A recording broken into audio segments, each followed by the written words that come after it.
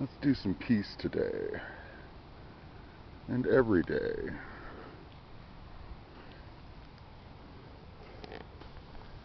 Even the dragon's getting in on it.